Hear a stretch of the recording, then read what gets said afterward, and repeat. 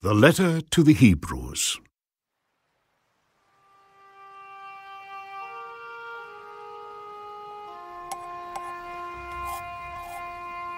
Long ago, God spoke many times and in many ways to our ancestors through the prophets. And now, in these final days, He has spoken to us through His Son. God promised everything to the Son as an inheritance, and through the Son He created the universe. The Son radiates God's own glory and expresses the very character of God, and He sustains everything by the mighty power of His command. When He had cleansed us from our sins, He sat down in the place of honor at the right hand of the majestic God in heaven. This shows that the Son is far greater than the angels, just as the name God gave Him is greater than their names. For God never said to any angel what He said to Jesus You are my Son. Today I have become your Father. God also said, I will be His Father, and He will be my Son. And when he brought his supreme Son into the world, God said, Let all of God's angels worship him.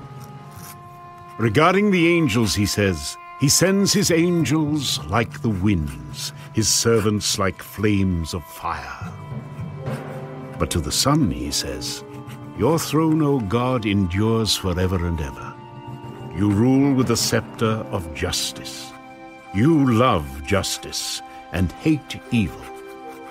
Therefore, O God, your God has anointed you, pouring out the oil of joy on you more than on anyone else. He also says to the Son, In the beginning, Lord, you laid the foundation of the earth and made the heavens with your hands. They will perish, but you remain forever. They will wear out like old clothing. You will fold them up like a cloak and discard them like old clothing. But you are always the same. You will live forever. And God never said to any of the angels, Sit in the place of honor at my right hand until I humble your enemies, making them a footstool under your feet. Therefore, angels are only servants spirits sent to care for people who will inherit salvation.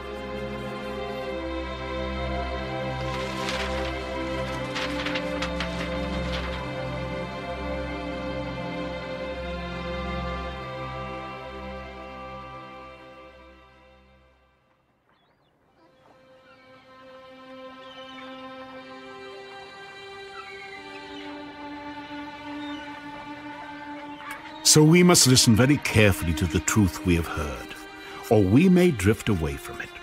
For the message God delivered through angels has always stood firm, and every violation of the law and every act of disobedience was punished. So, what makes us think we can escape if we ignore this great salvation that was first announced by the Lord Jesus Himself and then delivered to us by those who heard Him speak? And God confirmed the message by giving signs and wonders and various miracles and gifts of the Holy Spirit whenever He chose. And furthermore, it is not angels who will control the future world we are talking about. For in one place the scriptures say, What are mere mortals that you should think about them, or a son of man that you should care for him? Yet for a little while you made them a little lower than the angels and crowned them with glory and honor. You gave them authority over all things. Now, when it says all things, it means nothing is left out. But we have not yet seen all things put under their authority. What we do see is Jesus, who for a little while was given a position a little lower than the angels. And because he suffered death for us, he is now crowned with glory and honor. Yes, by God's grace, Jesus tasted death for everyone. God, for whom and through whom everything was made, chose to bring many children into glory. and it was only right that he should make Jesus, through his suffering, a perfect leader fit to bring them into their salvation. So now Jesus and the ones he makes holy have the same Father. That is why Jesus is not ashamed to call them his brothers and sisters. For he said to God, I will proclaim your name to my brothers and sisters. I will praise you among your assembled people. He also said, I will put my trust in him. That is, I and the children God has given me. Because God's children are human beings made of flesh and blood, the Son also became flesh and blood. For only as a human being could he die, and only by dying could he break the power of the devil who had the power of death. Only in this way could he set free all who have lived their lives as slaves to the fear of dying.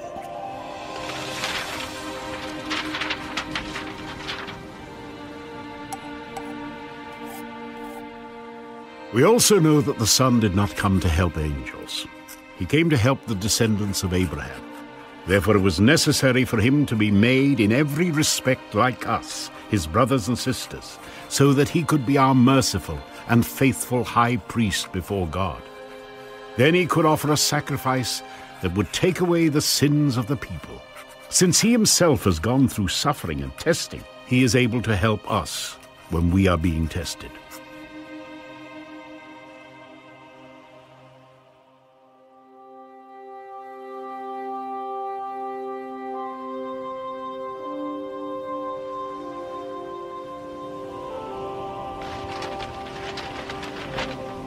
And so, dear brothers and sisters who belong to God and are partners with those called to heaven, think carefully about this Jesus, whom we declare to be God's messenger and high priest. For he was faithful to God who appointed him, just as Moses served faithfully when he was entrusted with God's entire house.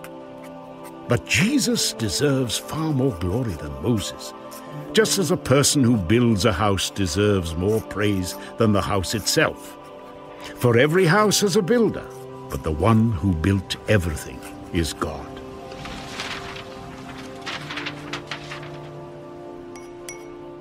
Moses was certainly faithful in God's house as a servant.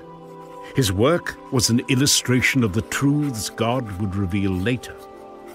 But Christ, as the Son, is in charge of God's entire house. And we are God's house, if we keep our courage and remain confident in our hope in Christ. That is why the Holy Spirit says, Today, when you hear his voice, don't harden your hearts, as Israel did when they rebelled, when they tested me in the wilderness.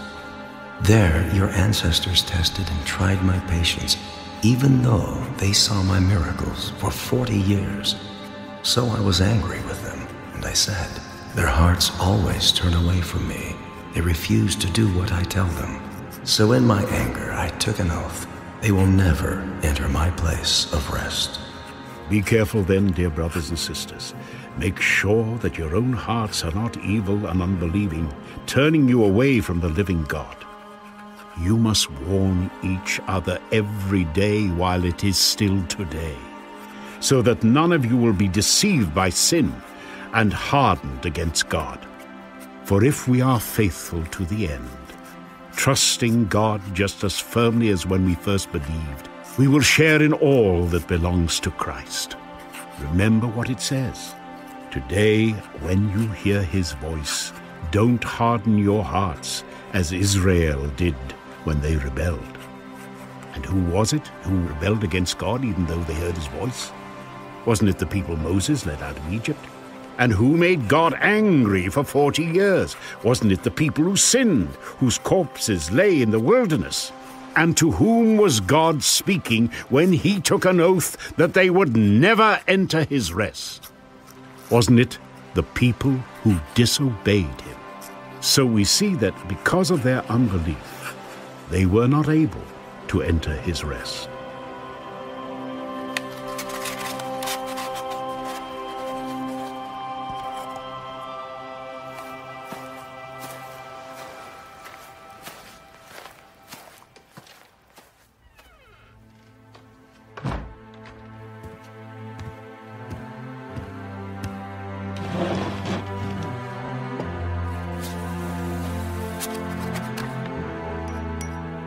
God's promise of entering his rest still stands.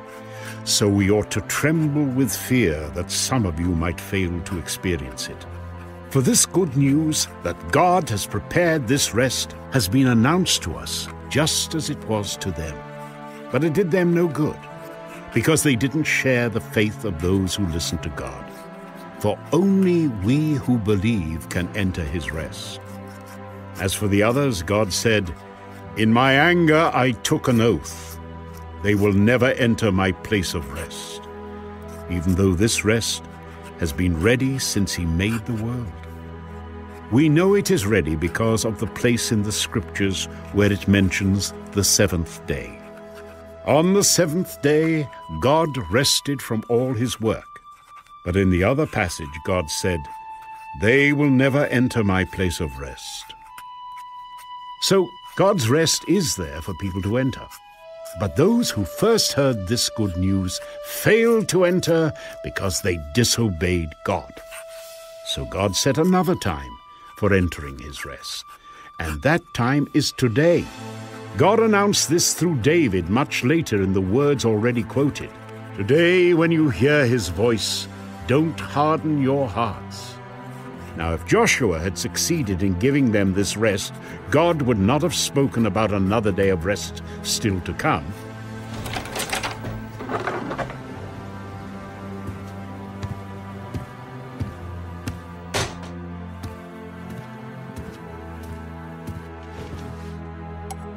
So there is a special rest still waiting for the people of God. For all who have entered into God's rest have rested from their labors, just as God did after creating the world. So let us do our best to enter that rest. But if we disobey God as the people of Israel did, we will fall. For the word of God is alive and powerful it is sharper than the sharpest two edged sword, cutting between soul and spirit, between joint and marrow. It exposes our innermost thoughts and desires. Nothing in all creation is hidden from God. Everything is naked and exposed before His eyes, and He is the one to whom we are accountable. So then, since we have a great high priest who has entered heaven, Jesus, the Son of God, let us hold firmly to what we believe. This high priest of ours understands our weaknesses, for he faced all of the same testings we do, yet he did not sin. So let us come boldly to the throne of our gracious God. There we will receive his mercy and we will find grace to help us when we need it most.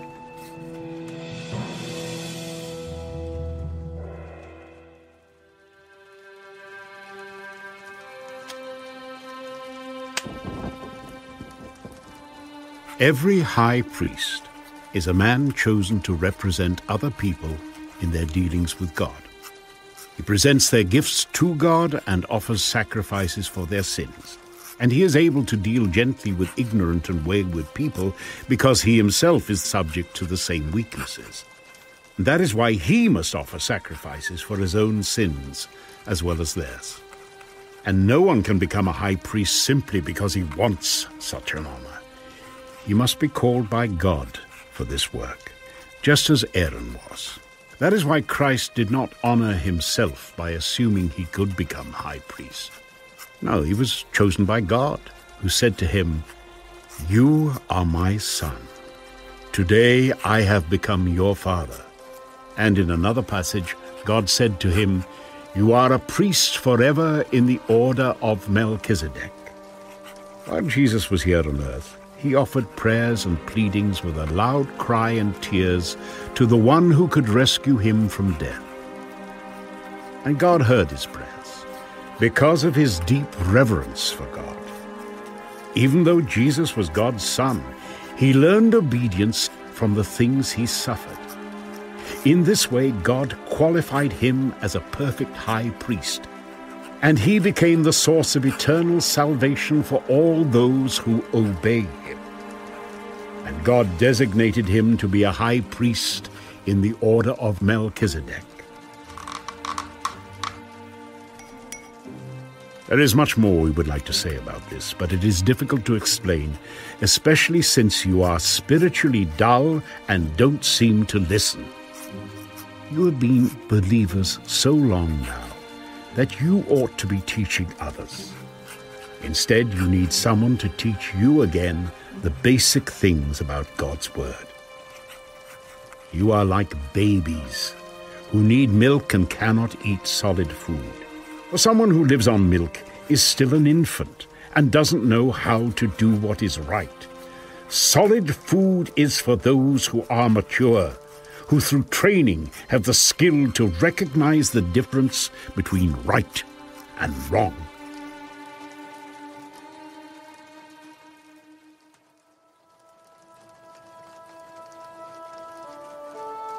So let us stop going over the basic teachings about Christ again and again. Let us go on instead and become mature in our understanding. Surely we don't need to start again with the fundamental importance of repenting from evil deeds and placing our faith in God. You don't need further instruction about baptisms, the laying on of hands, the resurrection of the dead, and eternal judgment. And so, God willing, we will move forward to further understanding.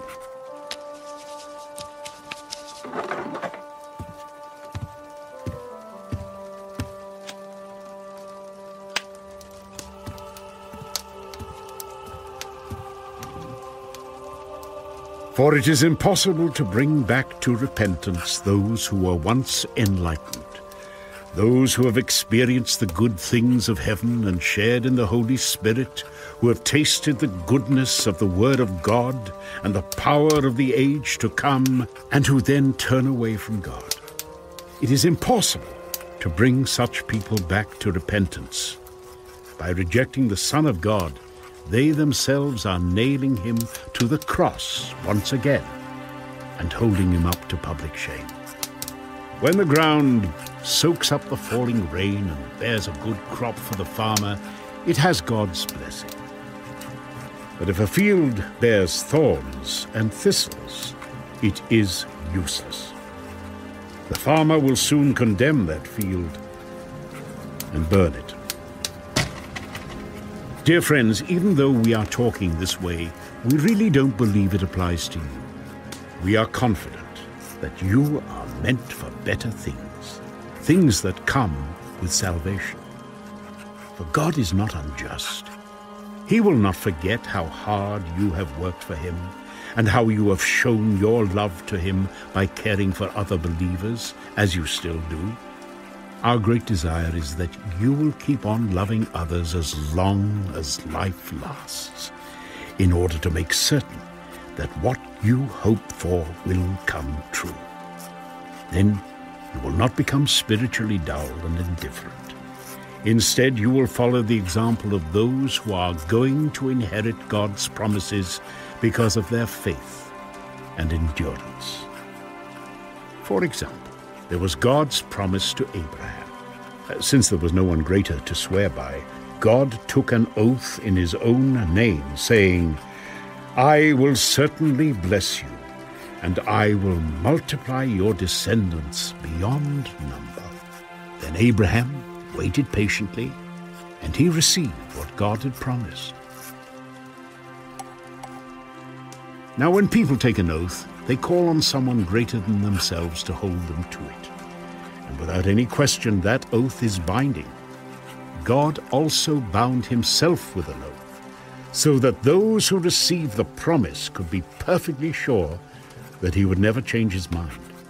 So God has given both his promise and his oath. These two things are unchangeable because it is impossible for God to lie. Therefore, we who have fled to him for refuge can have great confidence as we hold to the hope that lies before us. This hope is a strong and trustworthy anchor for our souls. It leads us through the curtain into God's inner sanctuary. Jesus has already gone in there for us.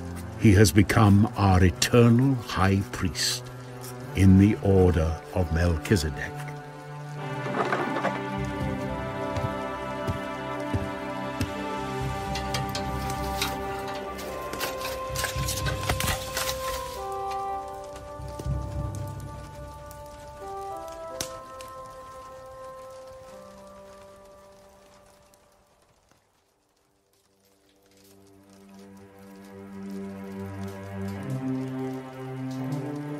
This Melchizedek was king of the city of Salem and also a priest of God Most High. When Abraham was returning home after winning a great battle against the kings, Melchizedek met him and blessed him. Then Abraham took a tenth of all he had captured in battle and gave it to Melchizedek. The name Melchizedek means King of Justice, and King of Salem means King of Peace. There is no record of his father or mother or any of his ancestors, no beginning or end to his life. He remains a priest forever, resembling the Son of God. Consider then how great this Melchizedek was. Even Abraham, the great patriarch of Israel, recognized this by giving him a tenth of what he had taken in battle. Now, the law of Moses required that the priests who are descendants of Levi must collect a tithe from the rest of the people of Israel who are also descendants of Abraham. But Melchizedek, who was not a descendant of Levi, collected a tenth from Abraham. And Melchizedek placed a blessing upon Abraham, the one who had already received the promises of God. And without question, the person who has the power to give a blessing is greater than the one who is blessed. The priests who collect tithes are men who die.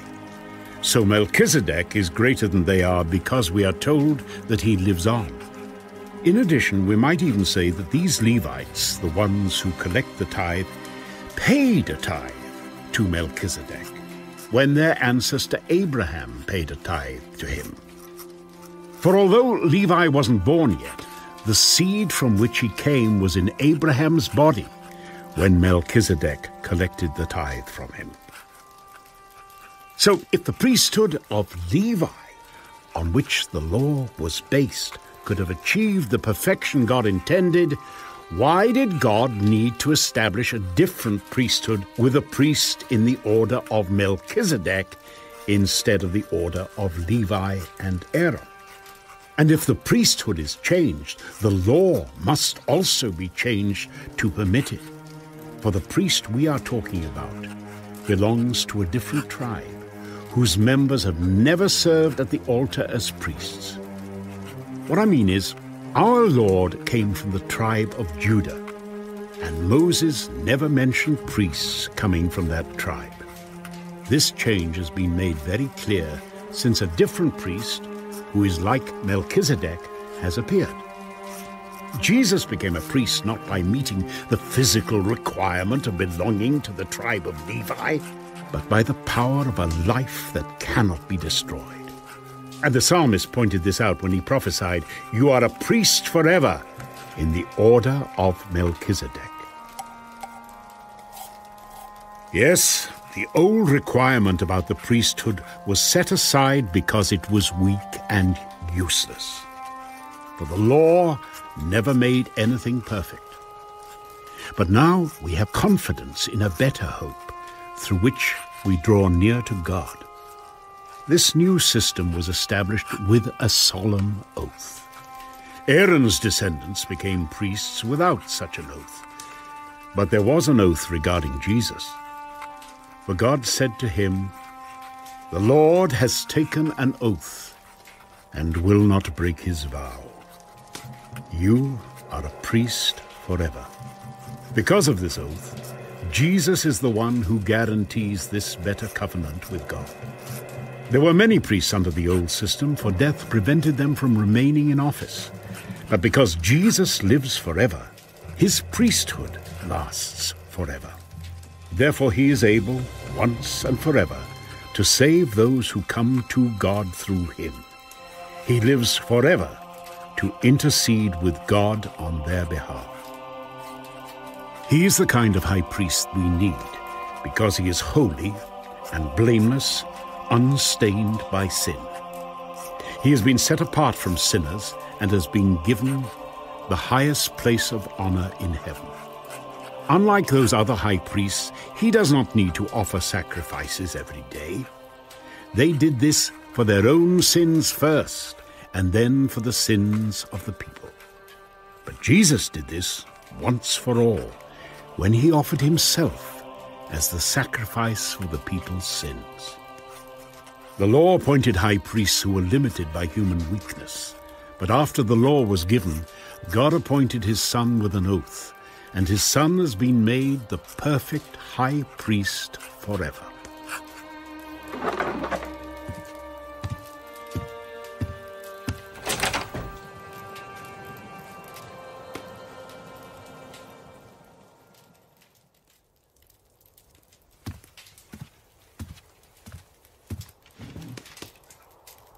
Here is the main point. We have a high priest who sat down in the place of honor beside the throne of the majestic God in heaven. There he ministers in the heavenly tabernacle, the true place of worship that was built by the Lord and not by human hands. And since every high priest is required to offer gifts and sacrifices, our high priest must make an offering too. If he were here on earth, he would not even be a priest, since there already are priests who offer the gifts required by the law. They serve in a system of worship that is only a copy, a shadow of the real one in heaven.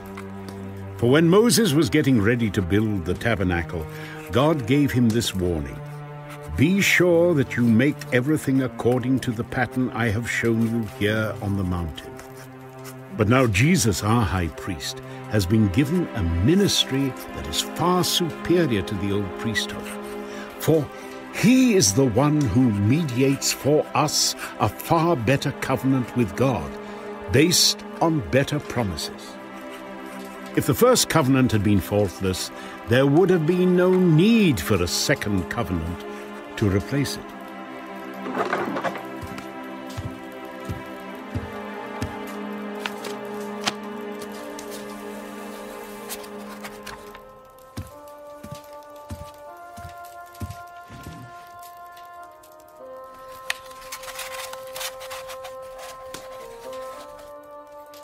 When God found fault with the people, he said, The day is coming, says the Lord, when I will make a new covenant with the people of Israel and Judah. This covenant will not be like the one I made with their ancestors when I took them by the hand and led them out of the land of Egypt.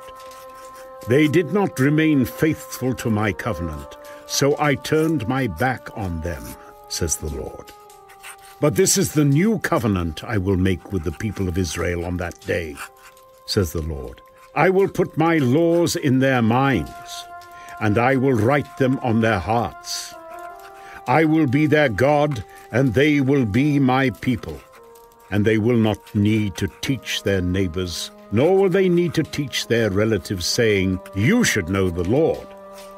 For everyone, from the least to the greatest, will know me already, and I will forgive their wickedness, and I will never again remember their sins. When God speaks of a new covenant, it means he has made the first one obsolete. It is now out of date and will soon disappear.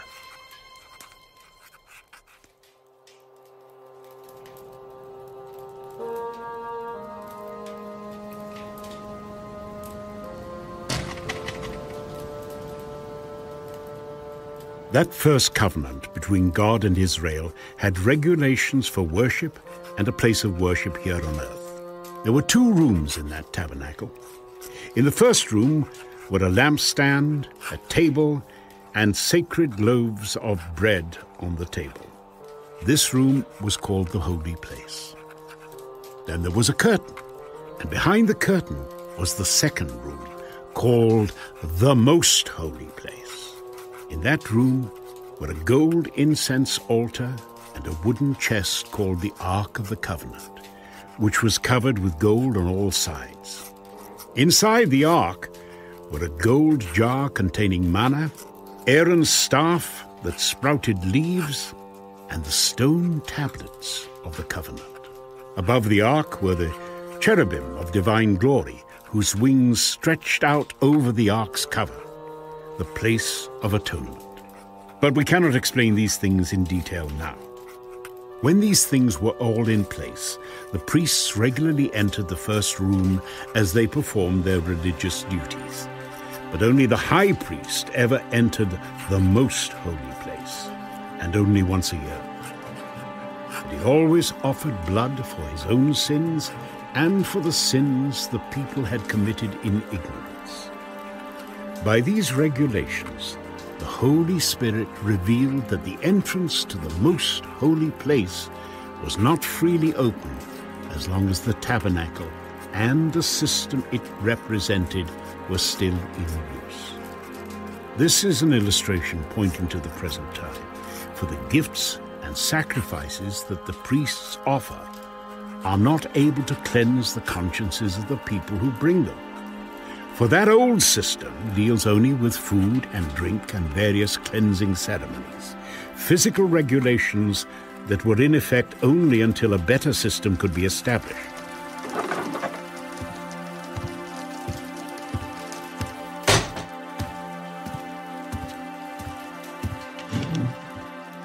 So Christ has now become the high priest over all the good things that have come.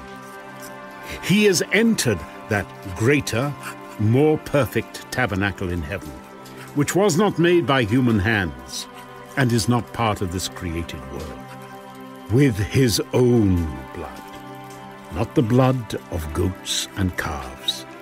He entered the most holy place once for all time and secured our redemption forever. Under the old system, the blood of goats and bulls and the ashes of a heifer could cleanse people's bodies from ceremonial impurity. Just think how much more the blood of Christ will purify our consciences from sinful deeds so that we can worship the living God. For by the power of the eternal Spirit, Christ offered himself to God as a perfect sacrifice for our sins. That is why he is the one who mediates a new covenant between God and people, so that all who are called can receive the eternal inheritance God has promised them. For Christ died to set them free from the penalty of the sins they had committed under that first covenant. Now, when someone leaves a will, it is necessary to prove that the person who made it is dead. The will goes into effect only after the person's death. While the person who made it is still alive, the will cannot be put into effect. That is why even the first covenant was put into effect with the blood of an animal.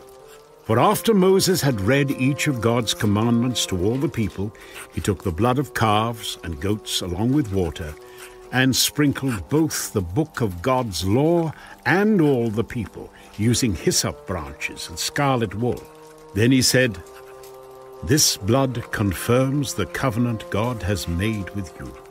And in the same way, he sprinkled blood on the tabernacle and on everything used for worship. In fact, according to the law of Moses, nearly everything was purified with blood. For without the shedding of blood, there is no forgiveness.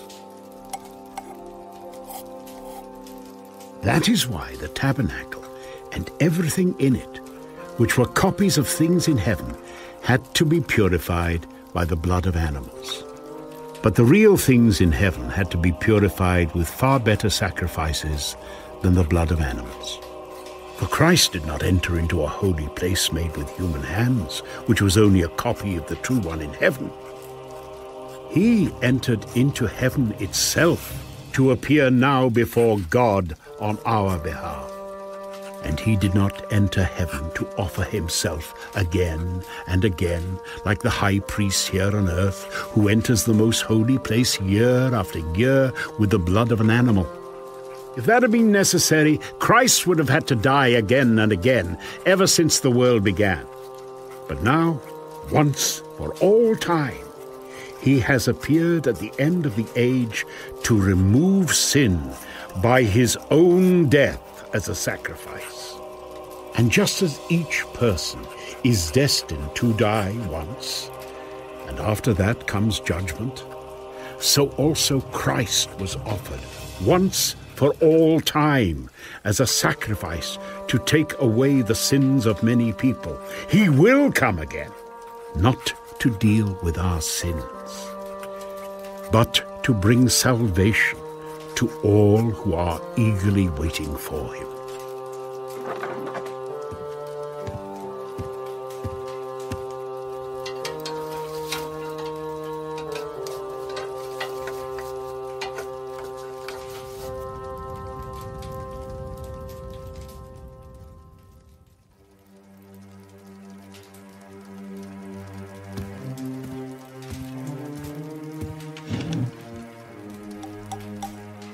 The old system under the law of Moses was only a shadow, a dim preview of the good things to come, not the good things themselves. The sacrifices under that system were repeated again and again, year after year, but they were never able to provide perfect cleansing for those who came to worship they could have provided perfect cleansing, the sacrifices would have stopped, for the worshippers would have been purified once for all time, and their feelings of guilt would have disappeared. But instead, those sacrifices actually reminded them of their sins, year after year. For it is not possible for the blood of bulls and goats to take away sins. That is why, when Christ came into the world, he said to God, you did not want animal sacrifices or sin offerings, but you have given me a body to offer. You were not pleased with burnt offerings or other offerings for sin. Then I said, Look, I have come to do your will, O God, as is written about me in the Scriptures. First Christ said, You did not want animal sacrifices or sin offerings or burnt offerings or other offerings for sin, nor were you pleased with them, though they are required by the law of Moses. Then he said, Look, I have come to do your will. He cancels the first covenant in order to put the second into effect. For God's will was for us to be made holy by the sacrifice of the body of Jesus Christ once for all time. Under the Old Covenant, the priest stands and ministers before the altar day after day, offering the same sacrifices again and again, which can never take away sins. But our high priest offered himself to God as a single sacrifice for sins, good for all time. Then he sat down in the place of honor at God's right hand. There he waits until his enemies are humbled and made a footstool under his feet. For by that one offering he forever made perfect those who are being made holy. And the Holy Spirit also testifies that this is so. For he says, This is the new covenant I will make with my people on that day, says the Lord. I will put my laws in their hearts and I will write them on their minds. I will never again remember their sins and lawless deeds. And when sins have been forgiven, there is no need to offer any more sacrifices. And so, dear brothers and sisters, we can boldly enter heaven's most holy place because of the blood of Jesus. By his death, Jesus opened a new and life giving way through the curtain into the most holy place. And since we have a great high priest who rules over God's house, let us go right into the presence of God with sincere hearts, fully trusting Him.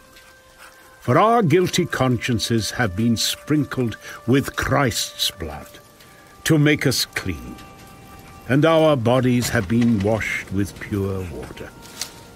Let us hold tightly without wavering to the hope we affirm, for God can be trusted to keep his promise. Let us think of ways to motivate one another to acts of love and good works. And let us not neglect our meeting together, as some people do, but encourage one another, especially now that the day of his return is drawing near. Dear friends, if we deliberately continue sinning after we have received knowledge of the truth, there is no longer any sacrifice that will cover these sins. There is only the terrible expectation of God's judgment and the raging fire that will consume his enemies. For anyone who refused to obey the law of Moses was put to death without mercy on the testimony of two or three witnesses. Just think how much worse the punishment will be for those who have trampled on the Son of God and have treated the blood of the covenant which made us holy as if it were common and unholy, and have insulted and disdained the Holy Spirit who brings God's mercy to us. For we know the one who said, I will take revenge. I will pay them back. He also said, The Lord will judge his own people. It is a terrible thing to fall into the hands of the living God. Think back on those early days when you first learned about Christ. Remember how you remained faithful, even though it meant terrible suffering. Sometimes you were exposed to public ridicule and were beaten, and sometimes you helped others who were suffering the same thing. You suffered along with those who were thrown into jail, and when all you owned was taken from you, you accepted it with joy. You knew there were better things waiting for you that will last forever. So do not throw away this confident trust in the Lord. Remember the great reward it brings you. Patient endurance is what you need now, so that you will continue to do God's will. Then you will receive all that he has promised. For in just a little while, the coming one will come and not delay. And my righteous ones will live by faith. But I will take no pleasure in anyone who turns away. But we are not like those who turn away from God to their own destruction. We are the faithful ones, whose souls will be saved.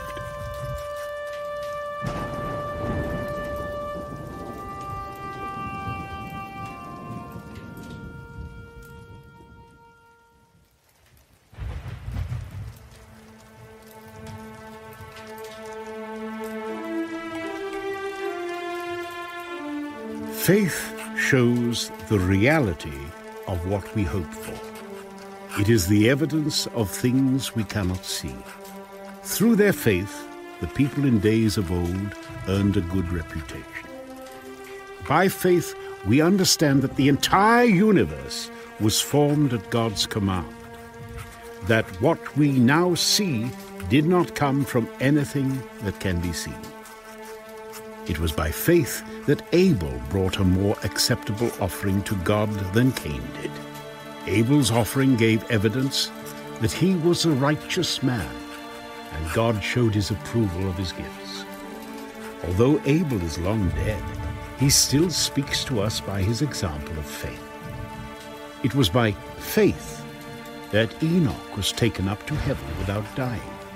He disappeared because God took him. For before he was taken up, he was known as a person who pleased God. And it is impossible to please God without faith. Anyone who wants to come to him must believe that God exists and that he rewards those who sincerely seek him. It was by faith that Noah built a large boat to save his family from the flood.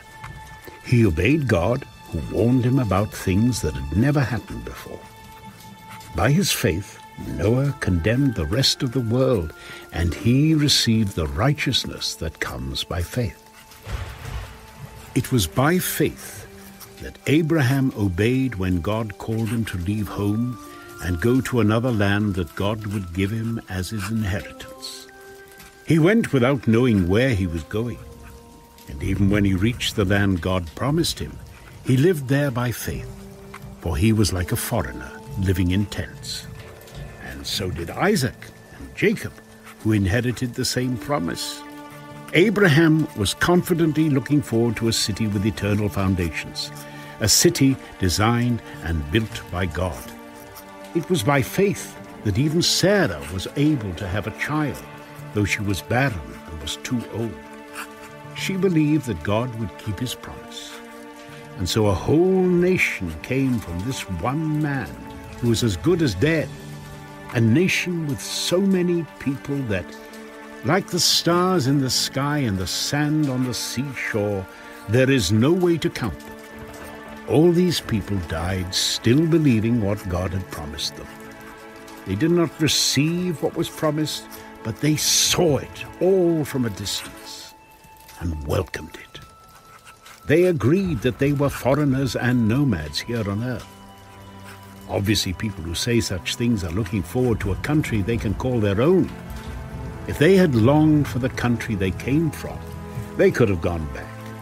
But they were looking for a better place, a heavenly homeland. That is why God is not ashamed to be called their God, for he has prepared a city for them.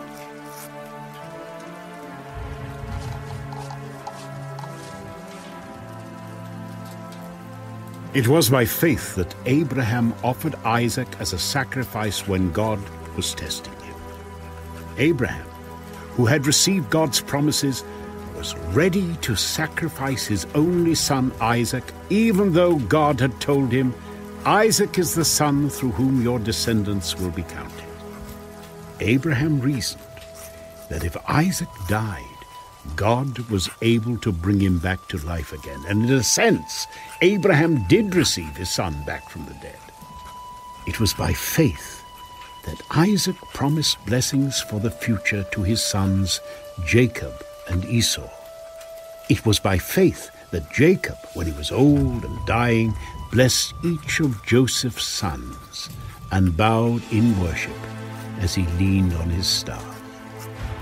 It was by faith that Joseph, when he was about to die, said confidently that the people of Israel would leave Egypt.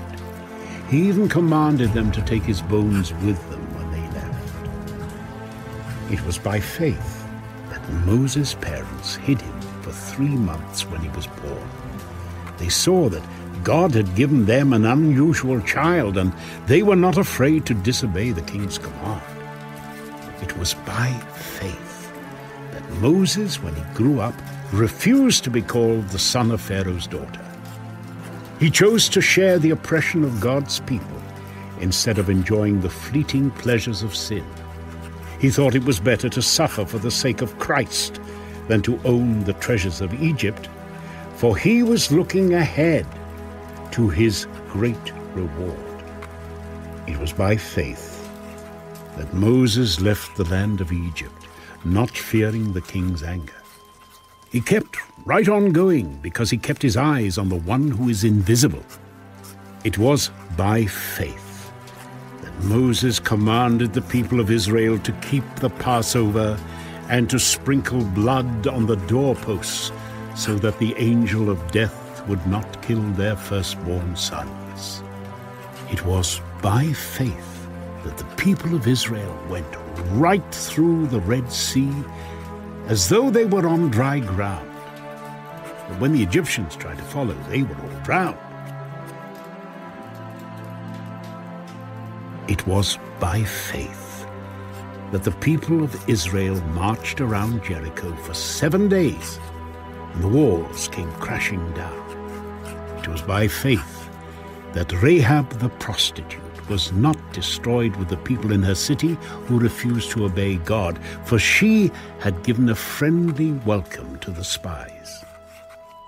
How much more do I need to say?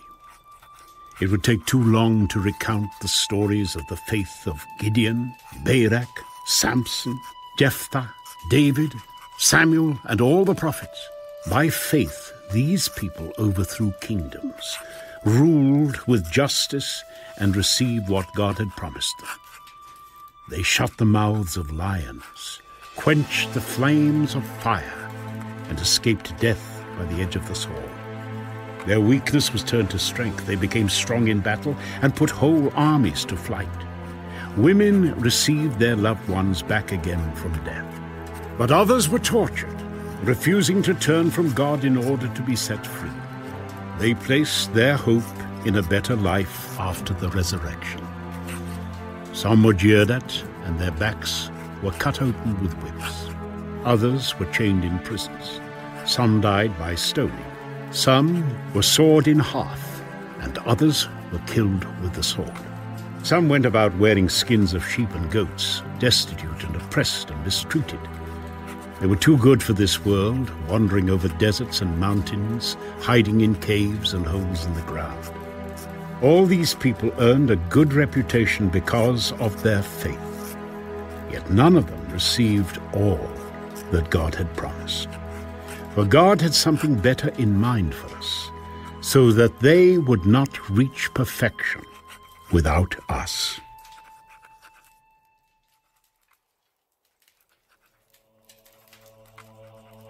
Therefore, since we are surrounded by such a huge crowd of witnesses to the life of faith, let us strip off every weight that slows us down, especially the sin that so easily trips us up, and let us run with endurance the race God has set before us.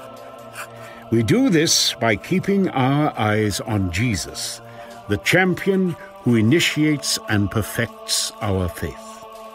Because of the joy awaiting him, he endured the cross, disregarding its shame. Now he is seated in the place of honor beside God's throne. Think of all the hostility he endured from sinful people. Then you won't become weary and give up. After all, you have not yet given your lives in your struggle against sin.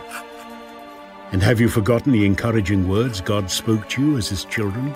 He said, My child, don't make light of the Lord's discipline, and don't give up when he corrects you. For the Lord disciplines those he loves, and he punishes each one he accepts as his child. As you endure this divine discipline, remember that God is treating you as his own children. Whoever heard of a child was never disciplined by its father? If God doesn't discipline you, as he does all of his children, it means that you are illegitimate and are not really his children at all. Since we respected our earthly fathers who disciplined us, shouldn't we submit even more to the discipline of the Father of our spirits and live forever? For our earthly fathers disciplined us for a few years, doing the best they knew how. But God's discipline is always good for us, so that we might share in His holiness. No discipline is enjoyable while it is happening. It's painful. But afterward, there will be a peaceful harvest of right living for those who are trained in this way. So take a new grip with your tired hands and strengthen your weak knees. Mark out a straight path for your feet, so that those who are weak and lame will not fall, but become strong. Work at living in peace with everyone, and work at living a holy life. For those who are not holy will not see the Lord. Look after each other, so that none of you fails to receive the grace of God.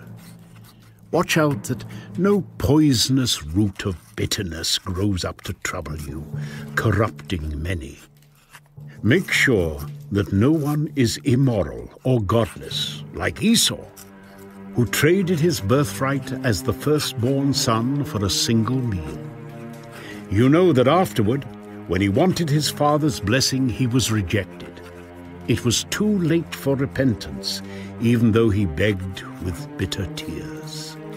You have not come to a physical mountain, to a place of flaming fire, darkness, gloom, and whirlwind, as the Israelites did at Mount Sinai. For they heard an awesome trumpet blast, and a voice so terrible that they begged God to stop speaking. They staggered back under God's command. If even an animal touches the mountain, it must be stoned to death. Moses himself was so frightened at the sight that he said, I am terrified and trembling. No, you have come to Mount Zion, to the city of the living God, the heavenly Jerusalem, and to countless thousands of angels in a joyful gathering. You have come to the assembly of God's firstborn children whose names are written in heaven. You have come to God Himself, who is the judge over all things.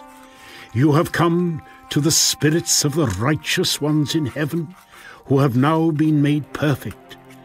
You have come to Jesus, the one who mediates the new covenant between God and people, and to the sprinkled blood which speaks of forgiveness instead of crying out for vengeance like the blood of Abel.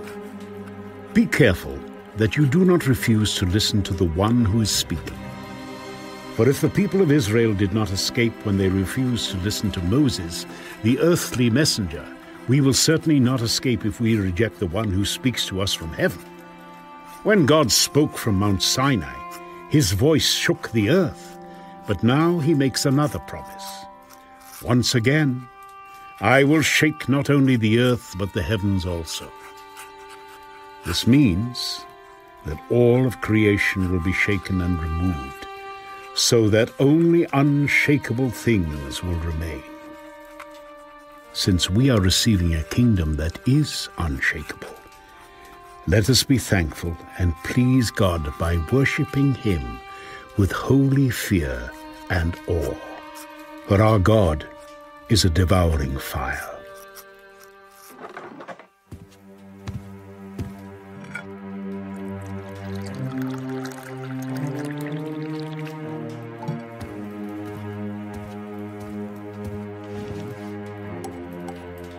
Keep on loving each other as brothers and sisters.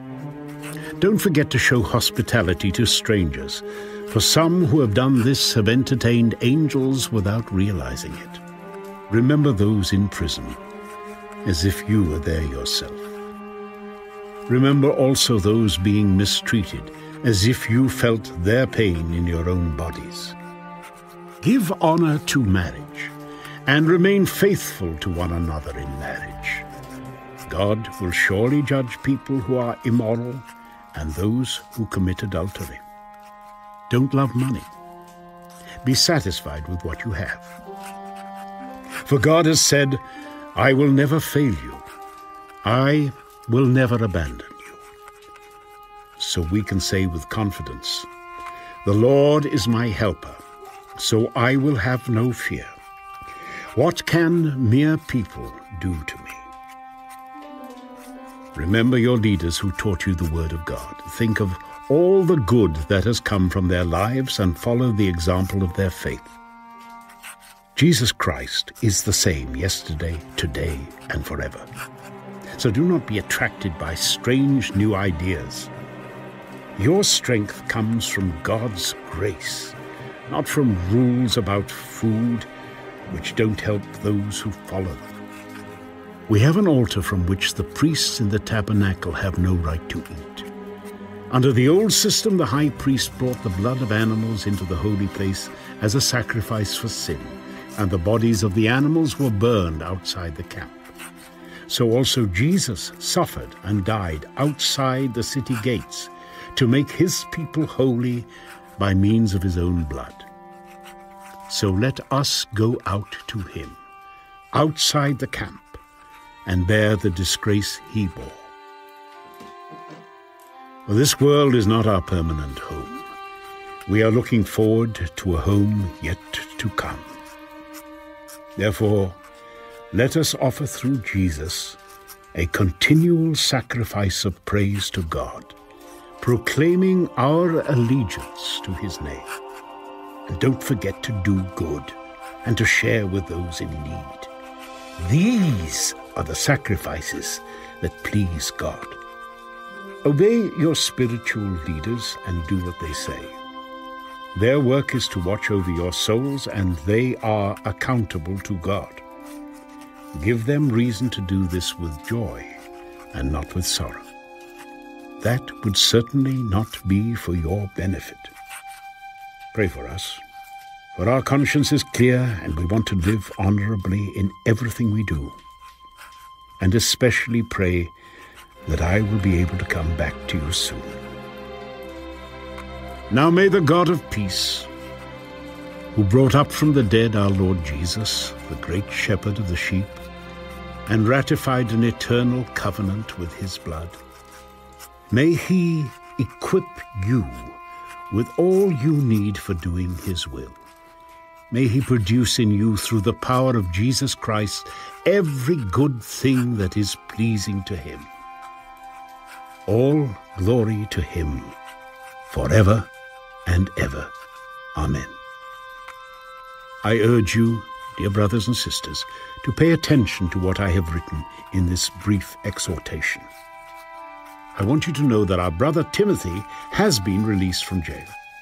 If he comes here soon, I will bring him with me to see you. Greet all of your leaders and all the believers there. The believers from Italy send you their greetings. May God's grace be with you all.